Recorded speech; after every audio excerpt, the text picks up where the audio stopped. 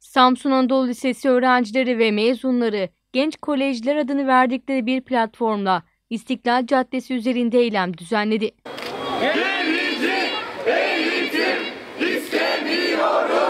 Grup adına açıklama yapan Sal mezunu Binnur Ülkü İlgen, 11 Haziran'da yayınladıkları bildiriyle Türkiye'de bildiri yayınlayan 360'ın üzerinde liseyle dayanışma içerisinde olacaklarını ifade etti. Yönetime protesto ve bildiriler eşliğinde ses çıkarmasıyla başlayıp ardından Galatasaray Lisesi, Cağaloğlu Anadolu Lisesi, Kadıköy Anadolu Lisesi gibi Türkiye'nin bilimden taviz vermeyen, eşitliği ve insan haklarını gözeten birçok köklü okulunun da bildiriler yayınlamasıyla büyüyen bu başkaldırıya 11 Haziran 2016'da Samsun Anadolu Lisesi öğrencileri ve mezunları olarak bizler de bildirimizi paylaşarak dahil olduk. İlgen, yayınlanan bildirinin ardından okul öğrencileriyle fikir alışverişi yapmak için okula ziyarette bulunduklarını ancak okul idaresinin sert müdahalesiyle karşılaştıklarını kaydetti.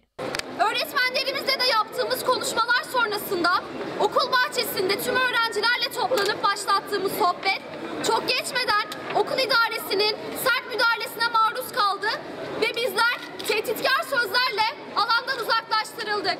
Basın açıklamasının ardından grup bir süre gerici eğitim istemiyoruz sloganları atarak İstiklal Caddesi üzerinde yürüdü.